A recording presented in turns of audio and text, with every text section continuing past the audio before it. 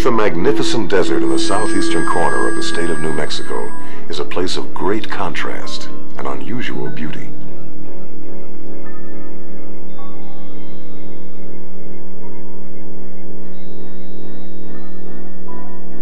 A place where true discoveries are still possible for everyone who visits.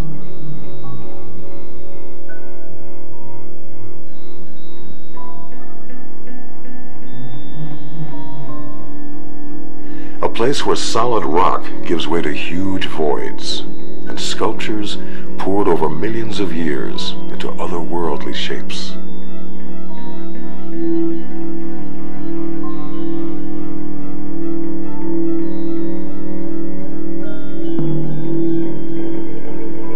If you are willing to step beyond the familiar, join us on a journey into a realm of sights which will challenge your imagination to a place of danger wonder, where an unusual world is revealed to those with a spirit of exploration.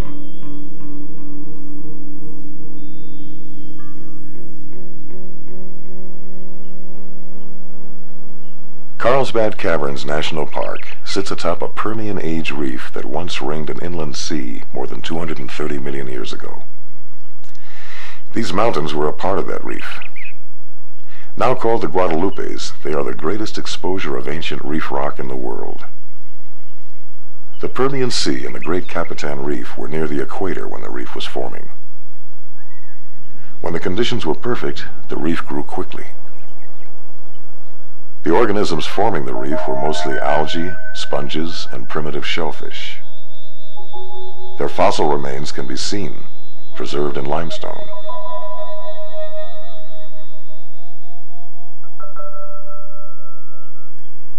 They were bound together by marine cements and then compressed through the ages, forming the Capitan Massif, the limestone layer in the mountains in which most of the great caves of the Guadalupes are formed. Exposed by erosion, it can be seen in beautifully towering fins of limestone rock at the mouth of Slaughter Canyon in the park backcountry. Most caves of the world form as a result of water, usually rainwater, seeping into the ground. As the water picks up carbon dioxide in the soil, it forms a weak solution of carbonic acid which dissolves the underlying rock, creating cave passages. These passages interconnect and may have constantly flowing underground streams or rivers. The caves in the Guadalupe Mountains form in a much different manner. Hydrogen sulfide migrating into the reef from deep oil and gas reservoirs millions of years ago met with fresh water seeping down from above. The reaction with the oxygen in the water produced sulfuric acid, which is very corrosive to limestone. The caves dissolved mostly along the joints and cracks developed in the reef through compression and mountain building forces. This process seems to create very large passages, which end abruptly and have entrances formed as surface collapse occurs, or because of the downcutting of canyons through erosion. Passages can form deep within the reef without connecting to the surface or with other cave passages.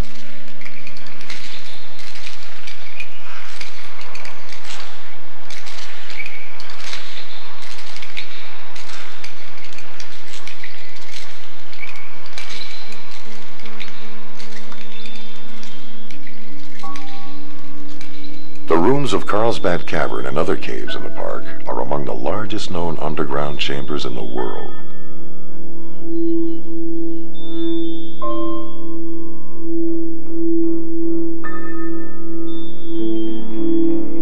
The big room of Carlsbad Cavern is a quarter mile from one end to the other, an area big enough for 30 football fields.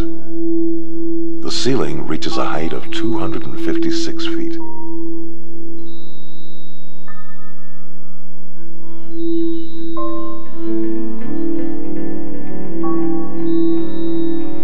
It is filled with formations of great size and beauty.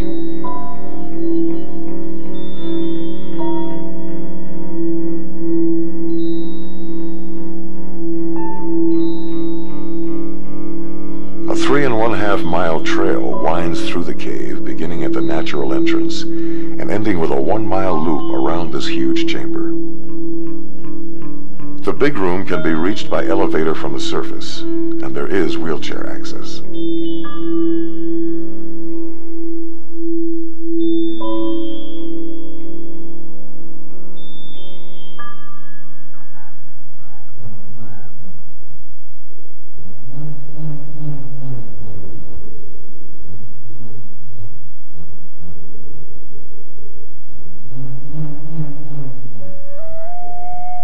First humans explored the Guadalupe Mountains as early as 20,000 years ago. By 6000 BC, archaic people were painting these symbols in natural shelters along steep canyon walls.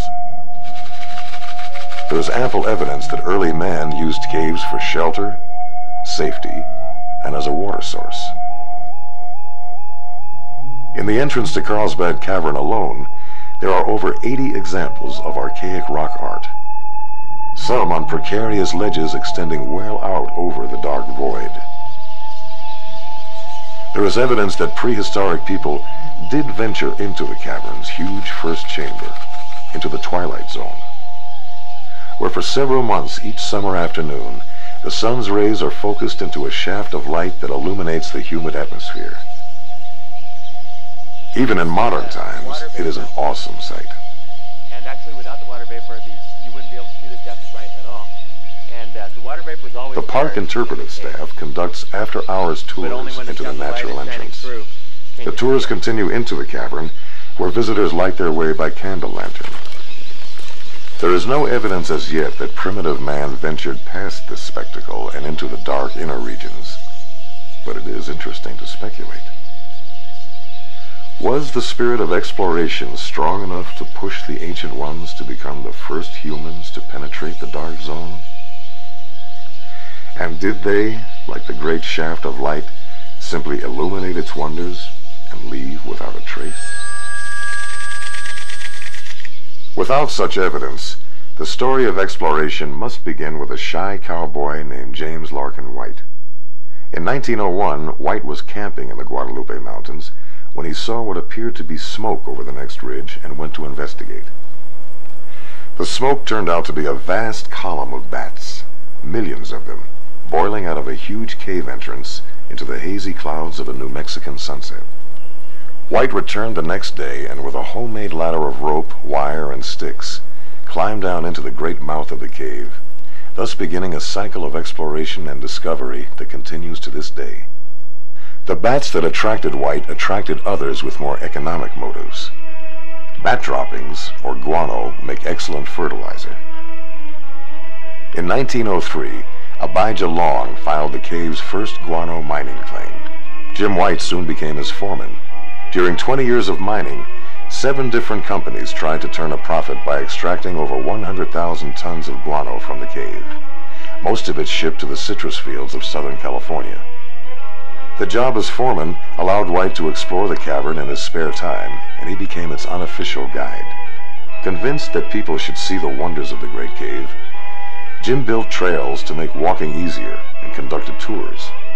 Visitors were lowered 173 feet down into the cave in the bucket used to haul guano. Jim White worked for six guano operations and all the while continued to explore, usually alone, seeing more of the cave's wonders for the first time than any other man. These old newsreel pictures show Jim walking through the cave with a magnesium phototorch, long before the cave had paved trails, electric lights, or elevators. Through his efforts, Carlsbad Cave became a national monument in 1923, with Jim White its first ranger.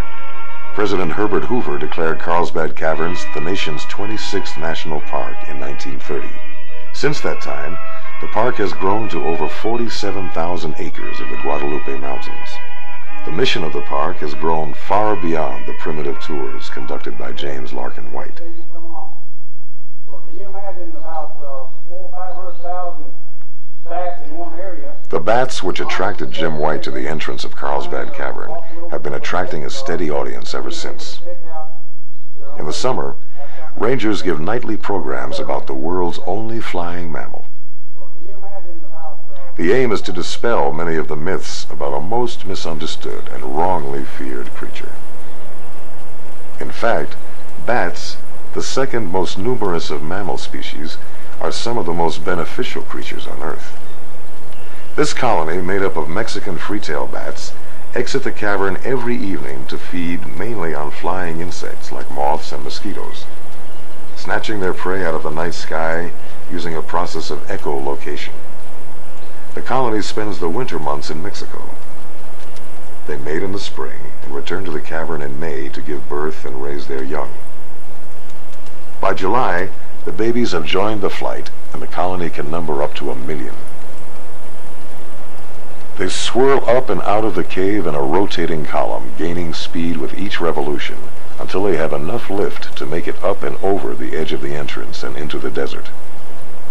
They will fly up to 50 miles each night.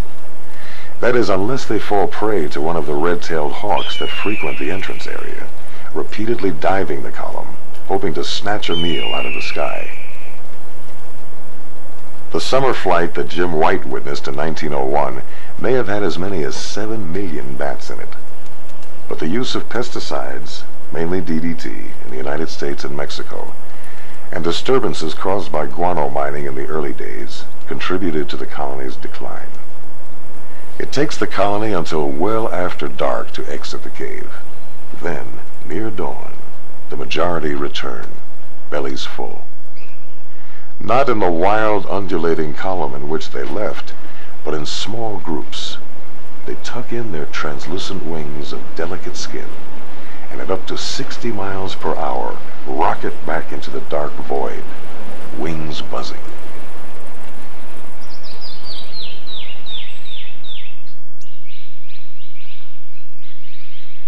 While best known for its caves, Carlsbad Caverns National Park is, on the surface, a naturalist's playground. Over 200 million years of geologic process has been exposed by erosion and uplift. More than 50 miles of backcountry trails cross the 47,000-acre park. Because of the lack of water in this northeastern part of the Chihuahuan Desert, most visitors avoid hiking and miss the beauty of the backcountry.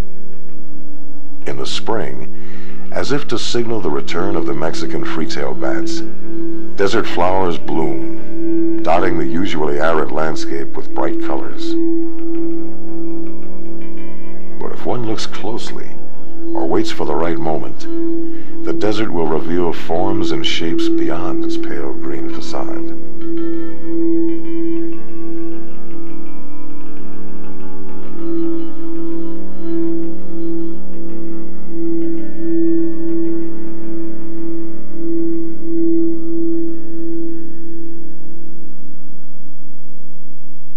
Animal life in the desert requires an even closer look.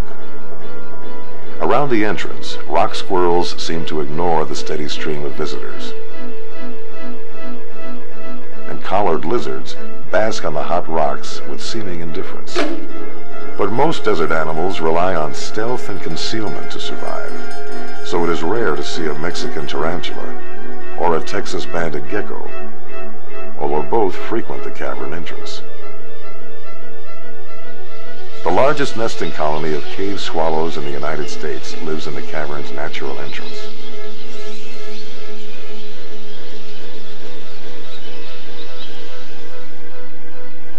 Snakes are rarely seen. Usually avoiding the desert heat, they hunt mostly at night. The long-nosed snake feeds mainly on lizards. The checkered garter snake prefers greener areas of the park. The most likely spot to see one is down at Rattlesnake Springs. Most snakes in the park are not venomous, but there are several rattlesnake species. The black-tailed rattlesnake eats small mammals like mice and sometimes lizards. It usually grows to no more than four feet in length.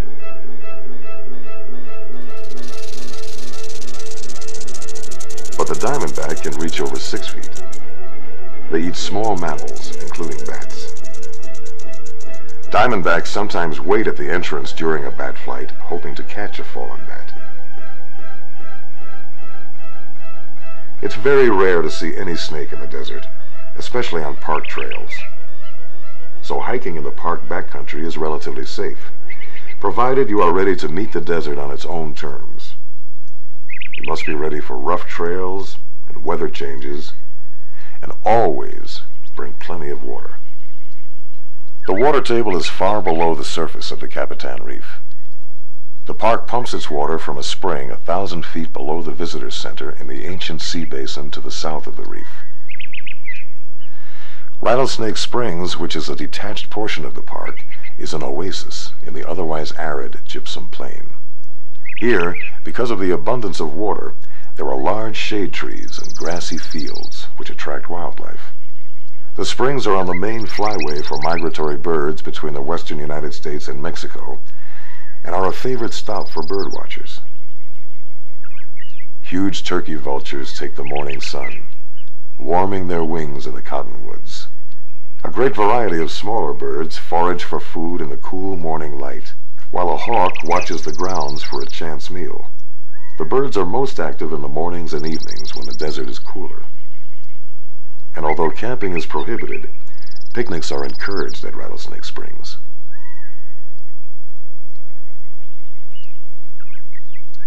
The reef geology that formed the Guadalupe Mountains has intrigued scientists for most of the 20th century. The sedimentary layers of the ancient reef can be seen in the cliff bands along the drive up Walnut Canyon the park road that leads to the cavern. Because of the arid desert climate, the layers of the reef are well exposed. Generations of geologists have cut their teeth in this canyon. But studying the reef from the surface is like reading every tenth word of a novel. The real story of the reef is below, in three dimensions. The dissolution of the limestones in the Guadalupe Mountains by sulfuric acid created huge caves. About one and a half million years ago, the process of infill began. Surface waters absorb carbon dioxide from the atmosphere and from decaying plant matter and seep downward through cracks and along bedding planes in the limestone. The carbon dioxide combines with the water to create a weak carbonic acid which dissolves the limestone. The water, now saturated with calcium carbonate, percolates out onto the walls and ceilings of the cave. Evaporation occurs as the carbon dioxide is lost to the cave atmosphere, and calcite crystals are deposited in a variety of ways to create the decorations geologists call speleothems. This process was very active until around 10,000 years ago. Now, only about 5% of the speleothems in the cavern are growing.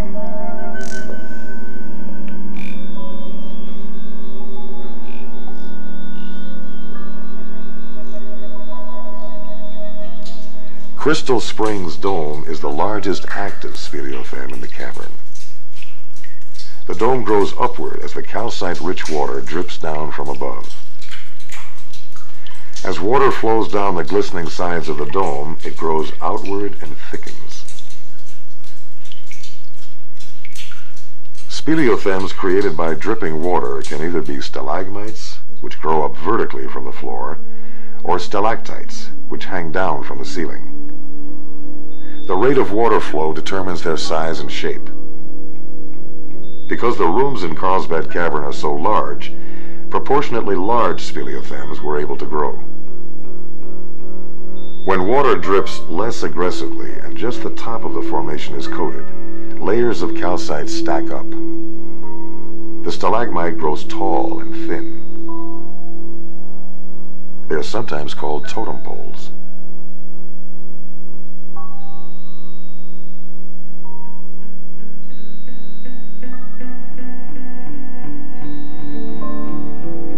Draperies are formed by dripping and flowing water coming out of an inclined ceiling. The water first flows down the surface of the ceiling, depositing an edge of calcite as it goes, leaving line after line of built-up minerals.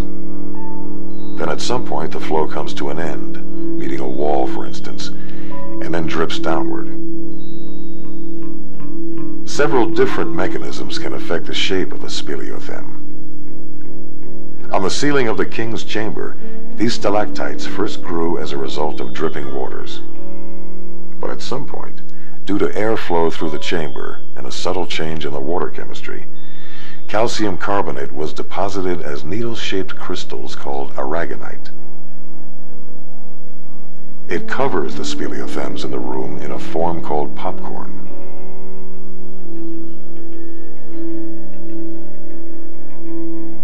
In the papoose room, dry popcorn-coated stalactites hang above an ancient pool. But in the back of the room is an area of still active growth. At one time, waters must have moved much more aggressively out of a fissure in the cave ceiling. But even now, some of the speleothems in this corner of the great cave continue to grow.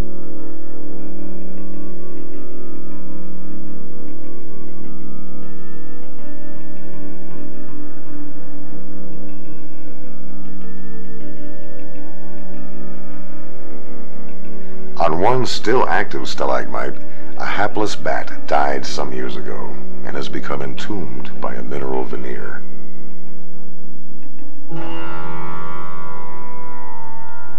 Beyond the paved trails of the normal visitor areas are rooms rarely seen. To get permission to go into the deeper regions of Left Hand Tunnel in the western arm of Carlsbad Cavern, you need to have a specific park-approved mission.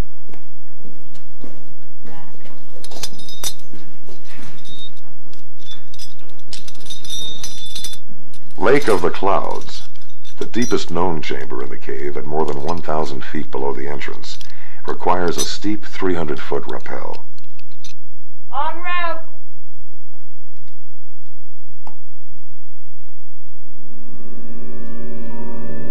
Next to the point where the rope is tied off is a formation called the Creeping Ear. The formation is an indication that even in the deepest known regions of the cave, airflow is still active.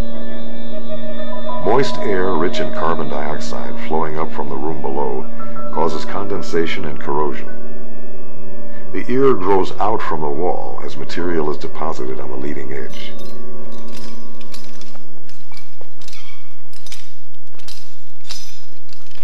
Lake of the Clouds is a perched aquifer, a pool sitting high above the water table.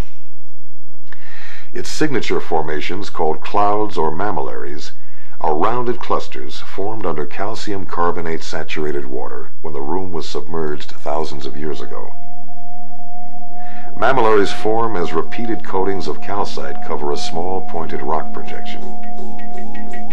Much like a pearl is formed, coatings build up to form the rounded clouds, which here have grown together on this dramatic ceiling,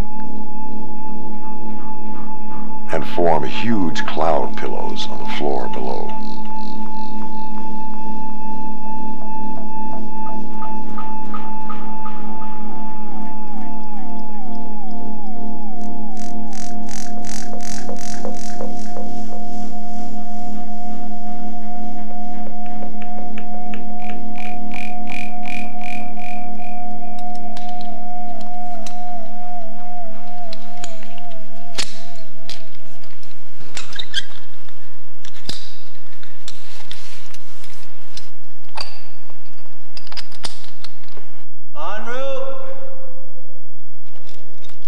Above Lake of the Clouds is a room that in the history of the park has rarely been visited. To reach the storm cloud chamber requires a short hanging rope climb of 70 feet, an ascent only allowed by special permit. Although the lake below was first seen in 1930, the climb to the chamber above wasn't made until 1982. Modern climbing systems like this rope walker are helping cavers to explore new areas of the cavern.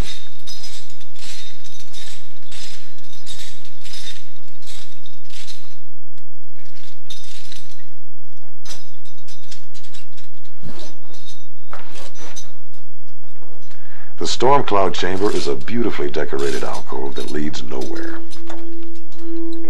Since it was drained before the room below, there was a longer period of time for the deposition of minerals. In the very wet environment that probably existed, a forest of delicate calcite and aragonite speleothems coated the room.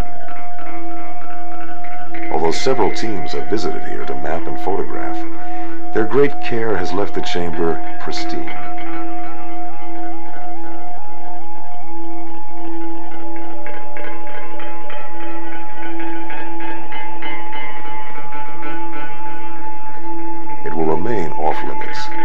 Protected area that will be left to exist without human interference.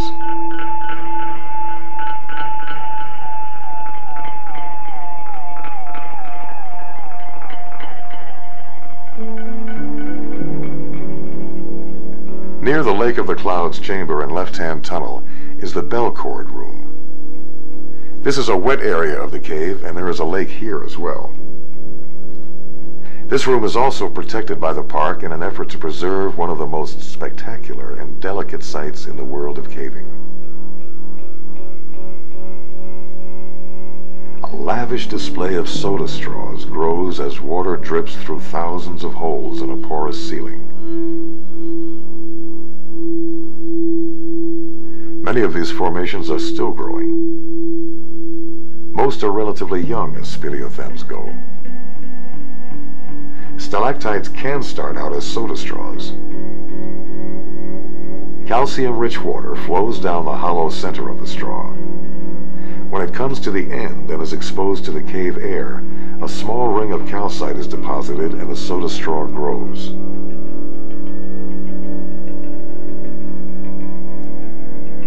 When the water emerges under pressure, the speleothem can take off in any direction, forming a seemingly gravity-defying helictite.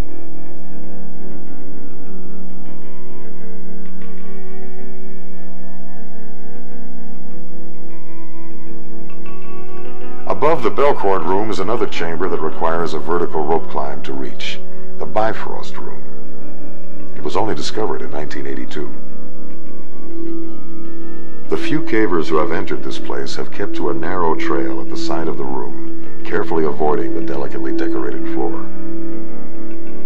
The National Park Service has determined that there is no significant scientific reason to be up here. The room has been carefully surveyed and mapped. It will be closed indefinitely.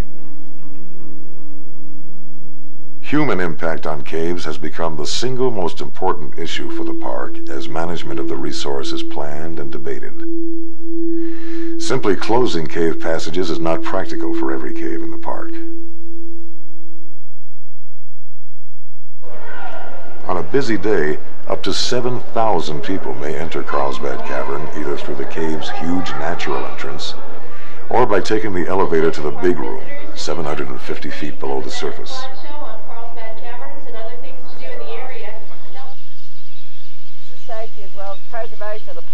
Even those who follow every park rule have an impact that creates a subtle change in the cave's environment. As we walk through the cave, we shed hair and skin, leave food, or track other things in on our shoes. A society of cave crickets feed partly off of the matter that we all bring in. The carbon dioxide we exhale changes the delicate chemistry of the cave's air. But lint is what most noticeably coats the speleothems along the cave's trails. Every year a team of volunteers gathers for what is called the lint camp. Around 30 cavers can collect the equivalent of 12 pillowcases full of lint in just one week. Studies show that the lint can trap moisture containing weak carbonic acid. The acid corrodes the speleothems. But there is an even more obvious and disastrous effect that human visitation has had on the cave. More than 20,000 speleothems have been broken and taken from the cave since Carlsbad Cavern was first developed. In the old days, before cave conservation was even considered, visitors were unaware of the damage done by touching or climbing on the delicate formations. Now we know that the oils on our hands and clothes keep speleothems from growing. Yet the damage continues to a surprising degree, even today.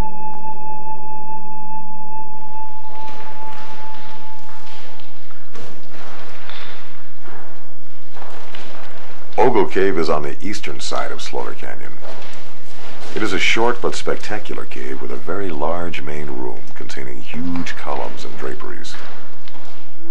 In fact, at 107 feet, the bicentennial column was once thought to be the world's tallest. But that distinction now goes to a speleothem in China, just two feet taller. Ogle was mined for bat guano in an era when caves were poorly regarded and cave conservation unheard of. Guano miners thought nothing of dynamiting a path through a forest of massive columns. They blew a hole right through a wall of speleothems to run a cable for a trolley to move guano from deeper parts of the room. Luckily, they bypassed Ogle's most spectacular feature, a wall of draperies nearly 80 feet high, formed at a time when calcite-rich waters must have poured out of a joint or fracture in the relatively flat ceiling.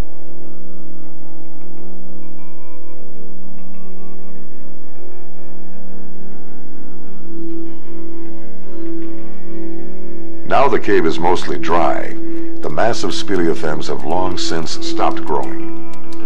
But off the main room, a breach in the sandstone layer above channels calcite-rich waters into an alcove where a small group of glistening speleothems continues to grow.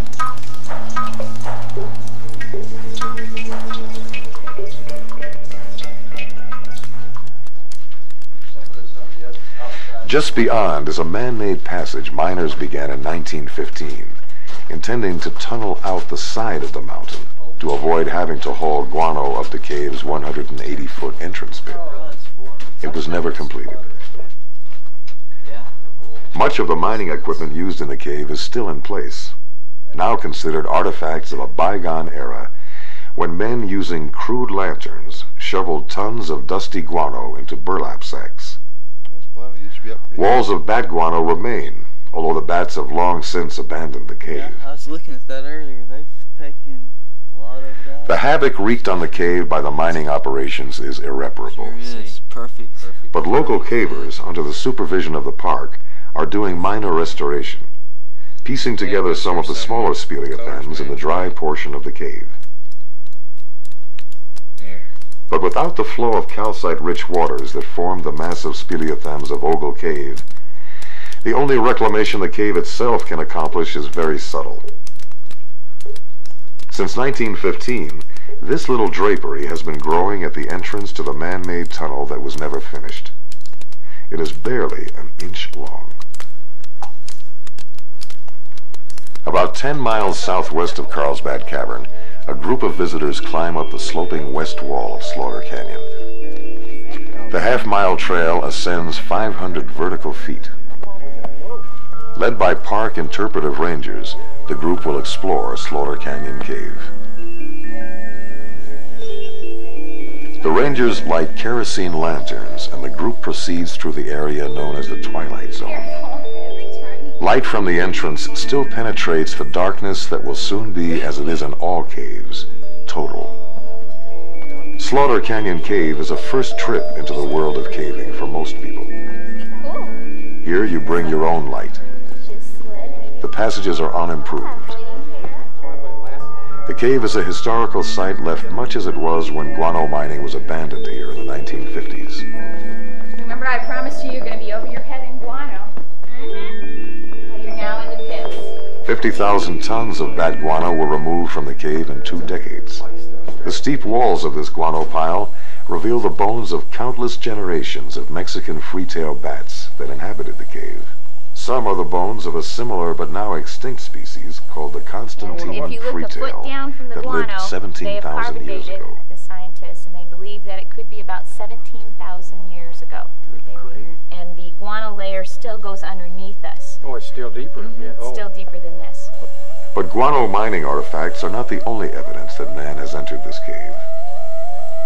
Deep into the dark zone, perhaps six to 12,000 years before the electric light was invented, ancient people used this cave for shelter and as a source of water.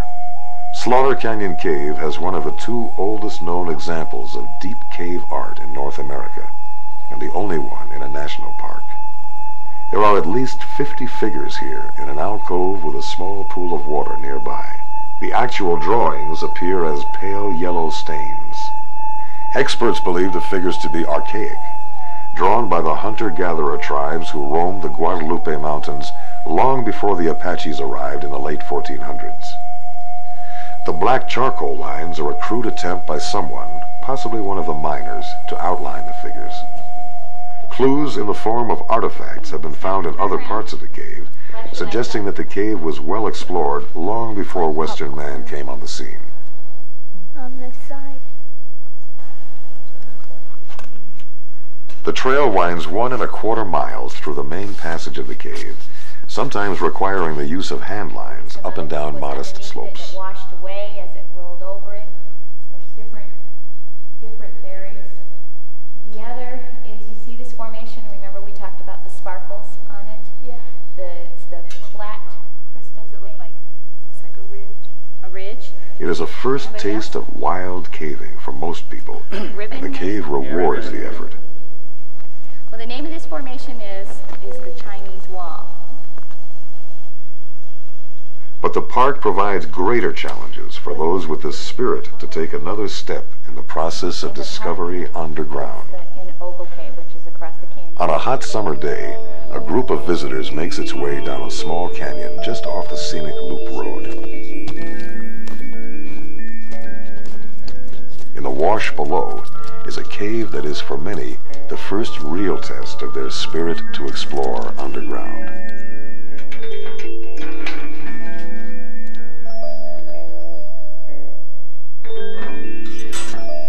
Sometimes it's hard to get people into the entrance of Spider Cave and other tight areas that I sometimes take people, and some of the chimneys can be tough too. But I think uh, myself and the other rangers that lead these trips kind of almost take a little bit of uh, strange pride that we can talk people into anything. Spider Cave is what cavers call a crawly little cave by Guadalupe standards. In the summer, rangers lead occasional tours to the cave for those yearning for a taste of real cave exploration. Though the passages seen on the tour are well mapped, and the ranger guides are all experienced cavers, this tour requires a certain level of fitness, and applicants are screened before being allowed to participate.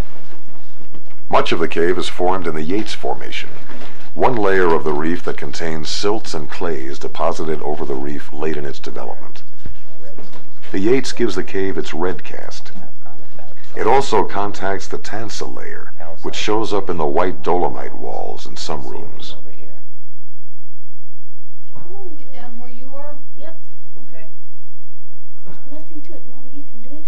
Nothing The rangers who guide this tour tailor the route to challenge each group's abilities. That stuff does This passage has a low road, but if you dare, it also has a high road. Feel like Jiminy Cricket crawling through here. Almost through. Work. It's a lot of crawling. But uh, for me, that's what Spider is. It's not necessarily a cave where you can walk into a big open room and marvel at it. It's something to experience on a much more immediate level. Crawling through it, getting dirty, uh, wearing the cave on your shirt, in your hair, in your ears, and, and everywhere else. And uh, that, that's what Spider is. It's, it's a very involved caving trip. And that's why I think people like it, and that's why I like this cave a lot. There are hundreds of known caves in the Guadalupe Mountains, and the limestone of the ancient reef could contain thousands more. Every year, more caves are discovered in the park. Some may have no entrance and may never see a caver's light. Most are much smaller than Carlsbad Caverns. But the efforts of cavers from around the world who come to the Guadalupes in search of discovery have paid off enormously in the past few years. Back in the 1940s, Lechuguilla Cave was nothing but a pit with some guano at the bottom, known for its 90-foot drop and some undecorated, nondescript passage.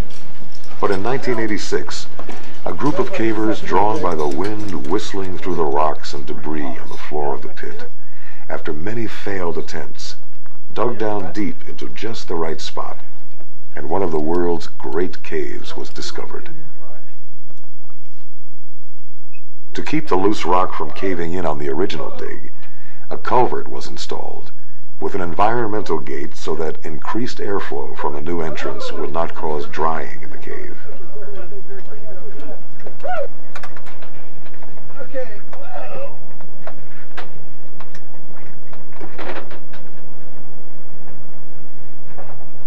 Lechuguilla Cave has become one of the great discoveries in the history of caving. Because it is overlain by the Yates Formation, the cave has been relatively protected from the cleansing effects of flowing water from above. Gypsum, which is a byproduct of the reaction between sulfuric acid and limestone, is still in place. Its discovery supports the theory that sulfuric acid was the agent that caused the great voids of the Guadalupes. In the chandelier ballroom, the ceiling is covered with gypsum, a great confluence of the snow-white mineral which ends in the creation of huge crystal chandeliers up to 20 feet long.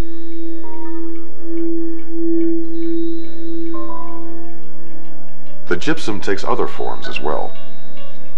Delicate flowers as big as a thumbnail are extruded under pressure or form intricate bouquets.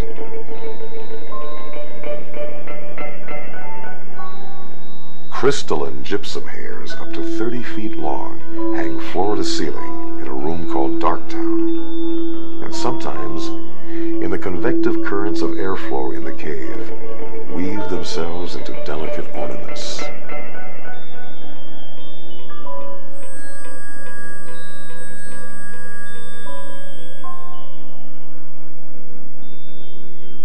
Lechuguilla Cave is a discovery that took considerable faith and effort in an obscure corner of the park. But there are discoveries being made in much more familiar places that are just as fantastic.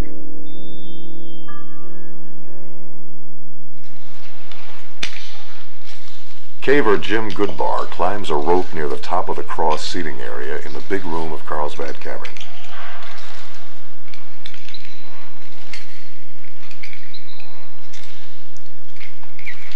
His destination is a hole in the ceiling 238 feet above called the Spirit World. The hole is visible to thousands of visitors who tour the chamber daily.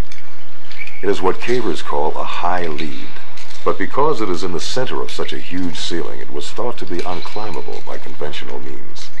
In 1985, Ronald Kerbo, then the park's cave specialist, and Michael Queen, a geologist working in the park, led a team of cavers who, with a contraption made of 80 party balloons and what looked like a huge embroidery hoop, were able to snag this stalagmite at the edge of the hole. Having done that, which took us about five nights to do, we uh, now had a cord that reached from the floor up and over the stalagmite and back down to the cave floor.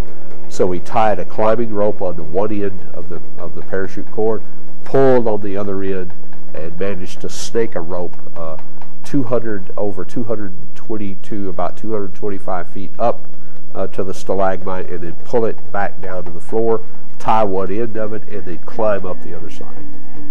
Trusting an anchor he had never seen, Kerbo was the first to climb. The climb put him in a place no human had ever been, right at the apex of the three great arms of the big room, several hundred feet in the air, spinning like a spider on a thread in the middle of a ballroom.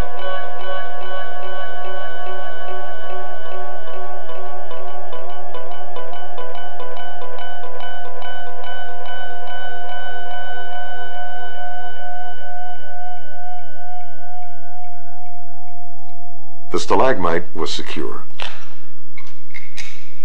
It took two more expeditions for the team to make its way to the passage on the other side of the pit. At the top, the edges of the pit form a huge funnel. To reach the main passage, cavers must walk on an inclined floor of slippery mud and flowstone. Handlines have been set along the edge.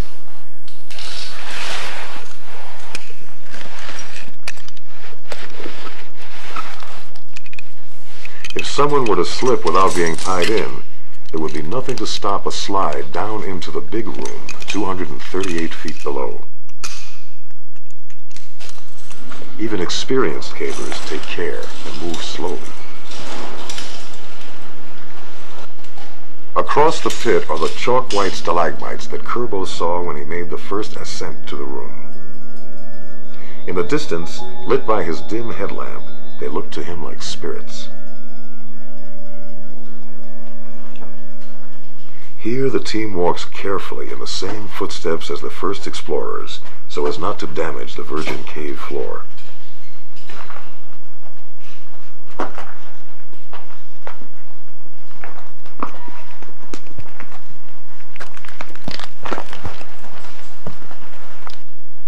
Halfway down the main passage is a wall that reveals the fossilized remains of organisms that formed the fabric of the reef. They stand out, etched by condensation as corrosive elements in the cave air passed across the wall, stacked in fossilized clumps just as they were when they died and became part of the reef structure over 230 million years ago. I don't think I've seen See, look, you can see these these tubey things, these tube, tubey like annelid worm. The passage is littered with the remains of dead free-tail bats. Could they have been lost? Or is there another way up and out of this room? The room branches out, but only 800 feet of cave has been found up here. That's okay. There is, however, a crack in the ceiling at the back of the main passage that seems too tight to pass. Cavers have seen what looks like another room beyond. Pat Kambesis thinks that she might just be able to crawl past the choke that has thwarted the men on the team. Kind of sides there. It sounds like She wriggles up into the crack, but just as it opens up, a row of delicate speleothems blocks the tight passage. It's so close. Yeah. It's so close. By breaking the formations, she could get through. Rather than damage the passage, she decides to retreat. It's tight. It's so close. That kind of makes me feel Better, it's a yeah. consolation, sort of. But some of these things look like there's been a fair amount of air going The spirit world isn't very long, nor is it as well decorated as some other portions of the Great Cave. But it, as much as any spot in the park, typifies the spirit of exploration that has made Carlsbad Caverns National Park such a special place.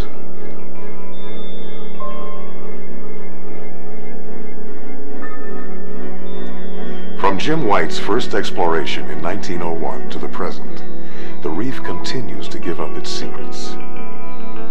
The question now, and for those who follow, is how do we protect these fragile discoveries? With the spirit of exploration comes the responsibility of preservation. In a world of extreme delicacy, where the rocks can be as thin as a human hair, where natural sculptures are poured by unseen forces into shapes beyond our wildest imaginings, perhaps we must learn to be like the shaft of light, illuminating the darkness, and then leaving without a trace, in a new spirit of exploration.